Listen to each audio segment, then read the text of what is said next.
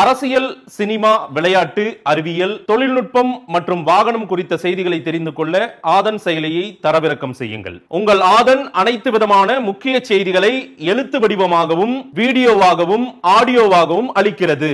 மக்களின் வறுமையை போக்குவதற்காக அவர்கள் சிந்திக்கவில்லை. மக்களை கல்வி அடிப்படையிலே மேம்படுத்த வேண்டும் என்பதற்காக சிந்திக்கவில்லை. மக்களிடத்திலே முற்போக்கான ஒரு கருத்துகளை பரப்ப வேண்டும் என்கிற எண்ணம் அவர்களுக்கு கிடையாது. மக்கள் நல்லிணக்கத்தோடு மதம் சாதி என்கிற பிளவுகள் இல்லாமல் மோதல்கள் இல்லாமல் ஒற்றுமையாக வாழ வேண்டும் என்பதல்ல அவர்களின் நோக்கம். மக்களிடையே இருக்கிற சாதி உணர்வையும் மத உணர்வையும் தங்களுக்கான அரசியல் ஆதாயத்திற்கு எப்படி பயன்படுத்திக் கொள்வது என்பதுதான் சாதியவாதிகளின் நோக்கமும் மதவாதிகளின் நோக்கமும். நான் அடிக்கடி சொல்லுவதுண்டு கம்யூனிஸ்ட் கட்சியும் கட்சிகளும் திமுக அதிமுக காங்கிரஸ் போன்ற கட்சிகளும் தேர்தல் களத்தில் அதிகாரத்திற்காக போட்டியிடுகிறார்கள் என்றாலும் கூட அவர்களோடு பாரதிய ஜனதா கட்சியை தேர்தலித்து தேர்தலில் அதிகாரத்திற்காக போட்டியிடக்கூடிய கட்சி என்று அந்த கட்சிகளோடு பொருத்தி ஒப்பிட்டு பார்த்துவிட முடியாது. அது வெறும் தேர்தலுக்காக அதிகாரத்திற்காக மட்டுமே காங்கிரஸை போட்டியாக கருதவில்லை இடதுசாரிகளை போட்டியாக கருதவில்லை அம்பேத்கர் இயக்கங்களை பகையாக கருதவில்லை. அவர்கள் வெறும் தேர்தலுக்காக மட்டுமல்ல தேர்தல் அவர்களுடைய நோக்கமாக இருந்தாலும் அரசியல் அதிகாரம் அவர்களுடைய இலக்காக இருந்தாலும் அவர்களின் இறுதி இலக்கு என்பது வேறு. அகண்ட பாரதம் அமைக்க வேண்டும். இந்து ராஷ்டிரம் என்று இந்த தேசத்திற்கு பெயர் சூட்ட வேண்டும். சமூக நீதி என்கிற கோட்பாட்டை அழித்தொழிக்க வேண்டும். அதற்கு தடையாக இருக்கிற தடைக்கல்லாக இருக்கிற புரட்சியாளர் அம்பேத்கர் வகுத்தளித்த அரசியலமைப்பு சட்டத்தை தூக்கி எறிய வேண்டும். இதை யாரும் வெளிப்படையாக அவர்கள் மேடைகளில் பிஜேபி தலைவர்கள் பேச மாட்டார்கள். சண்பரிவார் அமைப்புகளை சார்ந்தவர்கள் அதை பற்றி கொஞ்சமும் கூச்சப்பட மாட்டார்கள் வெளிப்படையாகவே பேசுவார்கள். எங்கள் கனவு இதுதான் என்பார்கள். ஒன்றை புரிந்து கொள்ள வேண்டும் சண்பரிவார் அமைப்புகளின் அரசியல் அணிதான் பிஜேபி. சண்பரிவார் அமைப்புகளின் அல்லது ஆர்எஸ்எஸ் அமைப்பின் செயல் திட்டம் தான் பிஜேபியின் செயல் திட்டம். இந்த பார்வையோடு நீங்கள் பிஜேபியை பார்த்தால்தான் ஏன் நாம் பிஜேபியை விமர்சிக்கிறோம் அல்லது பிஜேபியின் நடவடிக்கைகளை கண்டிக்கிறோம்? ஏன் அச்சப்படுகிறோம்? ஏன் நாம் பதறுகிறோம் என்பதை புரிந்து கொள்ள முடியும். பாரதிய ஜனதா கட்சியின் கொள்கை கோட்பாடுகள் அல்லது செயல் திட்டங்கள் யாவும் பாரதிய ஜனதா கட்சியின் தலைவர்களால் முடிவு செய்யப்படுவதில்லை. ஆர்எஸ்எஸ் இயக்கத்தின் தலைவர்களால் முடிவு செய்யப்படுகிறது.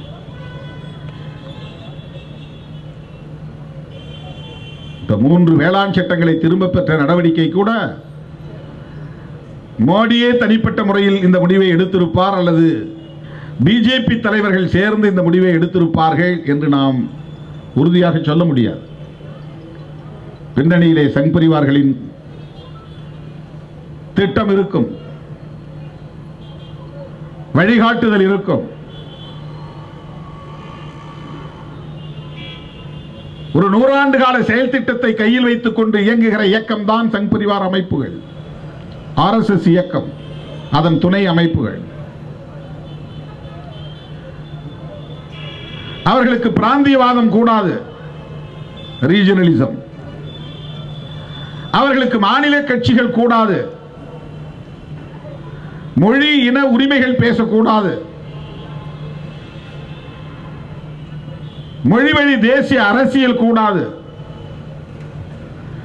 இந்த அரசியல் எல்லாம் மத வழியில் மக்களை ஒருங்கிணைப்பதற்கு தடைக்கற்களாக இருக்கின்றன.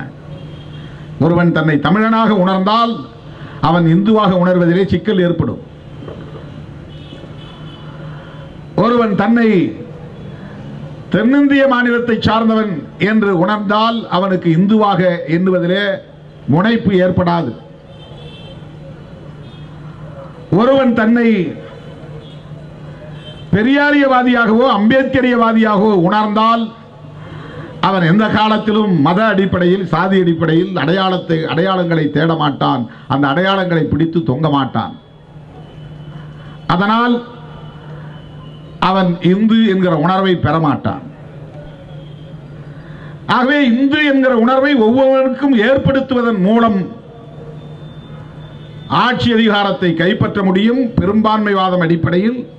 ஆட்சி அதிகாரத்தை கைப்பற்றி தொடர்ந்து ஆட்சியை தக்க வைப்பதன் மூலம் இந்த அரசியலமைப்பு சட்டத்தை உதறி எறிந்துவிட முடியும் தூக்கி எறிந்துவிட முடியும் என்பதுதான் அவர்களின் கனவு திட்டம்.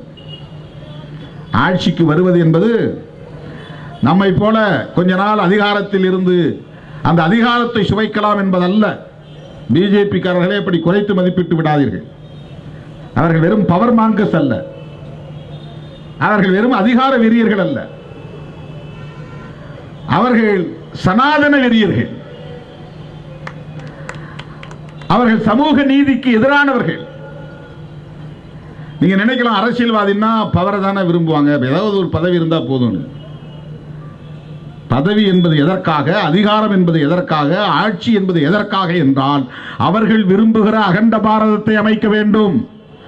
அவர்கள் விரும்புகிற ஈராயிரம் ஆண்டுகளுக்கு முன்னால் இருந்த சமூக ஒழுங்கை இங்கே மீண்டும் உறுதிப்படுத்த வேண்டும் நிலைப்படுத்த வேண்டும். அதுக்கு தான் உங்களுக்கு பவர் வேணும் பொலிட்டிக்கல் பவர் நம்மை எல்லாம் மனிதர்களாய் தலைநிமிர வைத்த நம்முடைய மகத்தான தலைவர் புரட்சியாளர் அம்பேத்கர் அவர்கள் அரசியலமைப்பு சட்டத்தின் முகவுரையை எழுதுகிற போது இந்த புதிய இந்திய தேசத்திற்கான ஒரு கொள்கை அறிக்கையாக அதை எழுதுகிறார். அதுதான் அந்த முகவுரையின் அடிப்படை நோக்கம். ஏனென்றால் பழைய இந்தியாவை தகர்க்கப் போகிறோம் என்று பொருள். சனாதன இந்தியாவை தகர்க்கப் போகிறோம் என்று பொருள். பிறப்பின் அடிப்படையில் உயர்வு தாழ்வை இங்கே நிலைநிறுத்தி இருக்கிற வர்ணாசிரம கோட்பாடுகளை கொண்டு கட்டமைக்கப்பட்டிருக்கிற ஆணுக்கு பெண் அடிமைதான் என்று இங்கே நிறுவியிருக்கிற இந்த சமூக கட்டமைப்பை தகர்த்தெறிய போகிறோம் சிதைக்க போகிறோம் என்பதைத்தான் அந்த பிரியாம்பில் என்கிற முகவுரையில் புரட்சியாளர் அம்பேத்கர் அவர்கள் பிரகடனம் செய்கிறார் அறிவிப்பு செய்கிறார். பண்டிட் ஜவஹர்லால் நேரு போன்ற தலைவர்களின் தலைமையில் அன்றைக்கு ஆட்சி நிர்வாகம் இயங்கிக் கொண்டிருந்த காலத்தில் இவையெல்லாம் விரிவாக விவாதிக்கப்பட்டன. அப்படி விவாதிக்கப்பட்ட நிலையில்தான் இந்த தேசத்தை இந்த நாட்டை ஒரு மதம் சார்ந்த நாடு என்று அறிவிக்க அவர்கள் முன்வரவில்லை. அதிலே இன்னும் ஒருபடி மேலே போய் மிசா காலத்தில் அதிலேயும் ஒரு திருத்தத்தை கொண்டு வந்து மறைந்த இந்திரா காந்தி அம்மையார் அவர்கள் அதிலே செக்யூலர் என்கிற வார்த்தையையும் இணைத்தார். இந்த நாடு மதம் சார்ந்து பிளவுபட்டுவிடக் கூடாது என்று தடுப்பதற்காக முயற்சித்த தலைவர்களுள் என்ன கருத்து முரண்பாடுகள் இருந்தாலும் காந்தியடிகள் முதன்மையானவர் என்பதை மறந்துவிடக் கூடாது. இந்துக்களும் இஸ்லாமியர்களும் மோதிக்கொண்டு ஒருவருக்கொருவர் பலியாகி கொண்டிருந்த நேரத்தில் இஸ்லாமியர்கள் பாதுகாக்கப்பட வேண்டியவர்கள் என்று குரல் கொடுத்ததற்காகவே காந்தியடிகள் சுட்டுக் கொல்லப்பட்டார் என்பதை மறந்துவிடக் கூடாது. இஸ்லாமிய சமூகம் என்றென்றைக்கும் காந்தியடிகளுக்கு நன்றி பட்டிருக்கிறது என்பதை நான் சுட்டிக்காட்ட கடமைப்பட்டிருக்கிறேன். காந்தியடிகளின் உயிரை பறித்ததற்கு அதுதான் காரணம். அவர் அதிதீவிரமான இந்துத்துவ சிந்தனையாளர் சனாதன கருத்தியலாளர் புரட்சியாளர் அம்பேத்கர் அவர்களுக்கும் காந்தியடிகளுக்கும் அதிலே கடுமையான முரண்பாடு உண்டு மோதல் உண்டு. ஹரே ராம் ஹரே ராம் என்று மூச்சுக்கு முன்னொரு முறை ராமன் பெயரை உச்சரிக்கக்கூடிய ராம பக்தர் கிராமராஜ்யம் என்கிற பெயரில் ஒரு ராமராஜ்யத்தை நிறுவ வேண்டும் என்று விரும்பியவர். இத்தகைய கருத்து மாறுபாடுகள் நமக்கு இருந்தாலும் கூட இந்த மண்ணை மத அடிப்படையில் பிரிப்பதற்கு இதையும் ஒரு மதம் சார்ந்த நாடாக அறிவிப்பதற்கு உடன்படாமல் இருந்தவர் காந்தியடிகள்.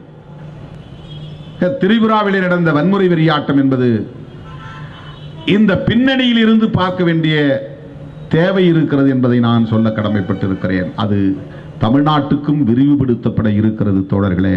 அந்த வேலைகள் இங்கே மும்முரமாக நடைபெற்று கொண்டிருக்கின்றன. மெல்ல மெல்ல இங்கே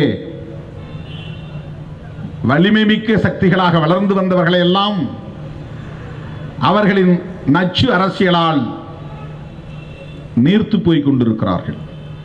இன்னைக்கு அண்மையில் ஒரு பேட்டியில் நான் சொன்னேன். ராமதாஸை பற்றி நீங்கள் என்ன நினைக்கிறீங்க அப்படின்னு கேட்டாங்க. அவர் தொடக்க காலத்தில் தன்னை ஒரு மார்க்சிஸ்டாக தன்னை ஒரு பெரியாரிஸ்டாக தன்னை ஒரு அம்பேத்கரிஸ்டாக பெரியாரியவாதியாக அம்பேத்கரியவாதியவாதியாக மார்க்சியவாதியாக காட்டிக்கொண்டவர் அப்படியே அதை தொடர்ந்திருந்தால் இந்த சமூக நல்லிணக்கத்தை அவர் பேணி பாதுகாத்திருந்தால் அகில இந்திய அளவில் இந்த சமூக நீதி சமூகங்களை எல்லாம் ஒருங்கிணைக்கிற முயற்சியை மேற்கொண்டிருந்தால் இன்னொரு காஞ்சிராமை போல் அவர் தேசிய அளவில் வளர்ந்திருப்பார். அந்த வாய்ப்பை அவர் இழந்துவிட்டார் ஏனென்றால் பிஜேபி விரித்த வலையில் சங்பரிவார் கும்பல் விரித்த வலையில் சோஷியல் என்ஜினியரிங் என்கிற அந்த சதி திட்டத்தை கையில் எடுத்துக்கொண்டு களமிறங்கியதன் விளைவாக இன்றைக்கு அவர் அறுபது சீட்டுக்குள் நாம் வென்றால் போதும் என்று சுருங்கி கிடக்கிறார். என்று சொன்னேன். அவரை மார்க்சிஸ்ட்லாம் தூக்கி இடதுசாரிகள்லாம் தூக்கி கொண்டாடினாங்க. நான் எமர்ஜி ஆகி வரும்போது யாரும் என்னை தோல்ல தூக்கல. நான் தடுமாறி கிடந்தேன்.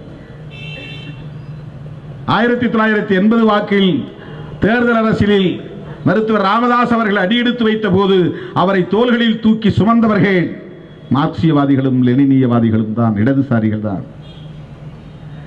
பெரியாரியவாதிகளும் அம்பேத்கரியவாதிகளும் தான். நமக்கு ஒரு மாற்று தலைவர் கிடைத்து விட்டார். திமுக அதிமுக கட்சிகளுக்கு மாற்றாக இவரை உயர்த்தி பிடிப்போம் என்று உயர்த்தி பிடித்தார்கள். அவரும் அப்படி ஒரு தோற்றத்தை கொடுத்தார் நம்பிக்கையை தந்தார்.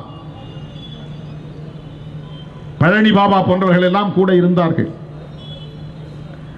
ஜான் பாண்டியன் பசுபதி பாண்டியன் போன்றவர்கள் எல்லாம் உடன் இருந்தார்கள். எத்தனையோ அறிவி ஜீவிகள் இடதுசாரி சிந்தனையாளர்கள் எல்லாம் உடனிருந்தார்கள்.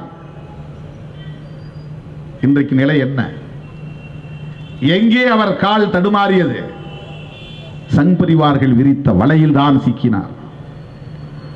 சோசியல் இன்ஜினியரிங் என்கிற தவறான அந்த கோட்பாட்டை பிஜேபி லவ் ஜிகாத் என்கிறது. அதை அப்படியே ஒரு தமிழாக்கி நாடக காதல்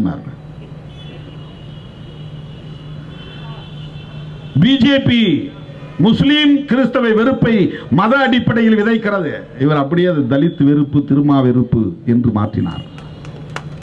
காப்பி. சோசியல் இன்ஜினியரிங் என்கிற அடிப்படையில் காப்பி அடித்ததன் விளைவு. திருமாவளவன் கொடியை பார்த்தால் அதை அறுத்தெறியுங்கள். வண்டியை பார்த்தால் கல்லெறியுங்கள். ஓட்டுக்காக. சோசியல் இன்ஜினியரிங் என்கிற அந்த சதி திட்டத்திற்குள்ளே போய் சிக்கிக் கொண்டார். இன்னைக்கு நிறைய பேர் தமிழ்நாட்டுக்குள்ள ஜாம்பவான்களாக வெளியே வந்தவர்கள் எல்லாம் காணாமல் போய்விட்டார்கள். பிஜேபியோட சேர்றவங்க அஞ்சே வருஷத்தில் பத்து வருஷத்தில் தனிநபராகி விடுவார்கள் நீர்த்து போய் விடுவார்கள். அதிமுக அதை நோக்கி போய் கொண்டிருக்கிறது. ஜெயலலிதா அம்மா இருந்தவர்களும் இந்த அம்மாவோட நமக்கு நிறைய கருத்து முரண்கள் உண்டு அது வேறு. ஆனால் மோடியா லேடியான்னு கேட்டாங்க. தேர்தல் ஒரு நாடாளுமன்ற பொது தேர்தலில். மோதி பார்க்கலாமான்னு கேட்டாங்க. இப்போ அண்ணன் ஓபிஎஸ் அவர்களும் அண்ணன் எடப்பாடி அவர்களும் அப்படி பேசுகிற திராணி உண்டா? பேச முடியுமா?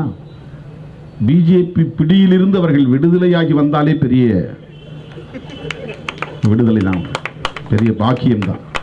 இப்போ மாற முடியாது. முதலை வாயில சிக்கிற மாதிரி ஆகிப்போச்சு இப்போ பி பிஜேபியின் பிடியில் அதிமுக. நான் குறைத்து மதிப்பிடுவதற்காக சொல்லவில்லை என்னுடைய அரசியல் பார்வையிலிருந்து நான் சொல்லுகிறேன். பிஜேபி.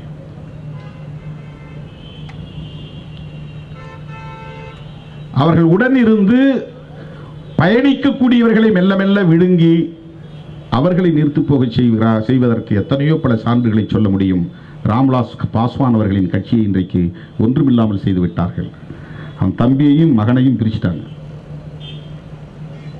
நிதிஷ்குமார் களங்கமில்லாத கரைபடாத ஒரு தலைவர் என்கிற பெயரை பெற்றிருந்தார். இன்றைக்கு அவரை பற்றி பேசுவதற்கான நிலையே இல்லை என்கிற ஒரு சூழல் உருவாகிவிட்டது. சிவசேனா விழித்து கொண்டது. மகாராஷ்டிராவில். நீயா நானா மோதி பார்க்கலாம் என்கிற நிலையை அவர்கள் எடுத்து விட்டார்கள். பஞ்சாபில் இருந்த சிரோ சிரோன்மணி அகாலித்தல் இன்னும் சில கட்சிகள் அமைச்சரவையிலே இடம்பெற்றிருந்தார்கள். பிஜேபியோடு சேர்ந்து நின்றார்கள். வேளாண் சட்டங்களை அவர்களால் தடுக்க முடியவில்லை. வெளியேறிவிட்டார்கள். ஆனால் அவங்க இந்த தேர்தலில் என்ன நிலைமைக்கு ஆளாவாங்கன்னு தெரியல. பிஜேபியோட சேர்ந்ததுனால. இதையெல்லாம் நான் சொல்லுவதற்கு காரணம் பாரதிய ஜனதா கட்சியின் மீது தனிப்பட்ட முறையிலே இருக்கிற கோபமோ வெறுப்போ அல்ல. அவர்களின் உள்ளீடான அரசியலை உணர்ந்ததால் சுட்டி காட்டுகிறேன்